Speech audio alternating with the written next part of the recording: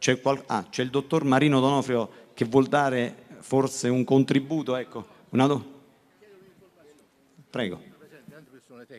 Io sono un agricoltore fallito. Sono rinunziato a fare agricoltore quando ho capito che è più difficile fare il coltivatore diretto che il medico. E anche perché quando i cinghiali mi hanno devastato la vigna. Io come agnonese faccio questa osservazione. In Agnone esistono decine di imprese di costruzione, imprese edile. Perché non esiste un'impresa agricola? Un'impresa che con personale qualificato, attrezzatura all'altezza di situazione, possa coltivare tanti terreni che sono abbandonati perché i proprietari, come me, ma ce ne stanno tanti altri, non sono capaci o non hanno la voglia di farlo. Questa domanda soltanto. Voi potete rispondere perché più qualificati di voi non ce ne stanno. Grazie. Grazie per la domanda. Se ce ne sono altre eh, di questo stesso ecco, eh, tenore, le accogliamo ben volentieri. Grazie, dottore.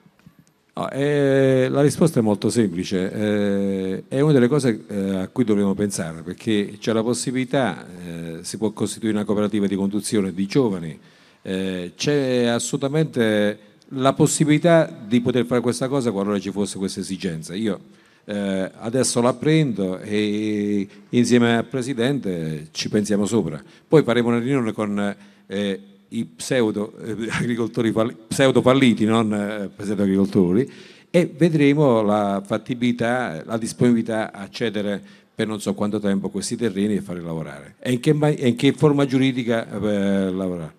Appaltarli, va bene. Ok, grazie.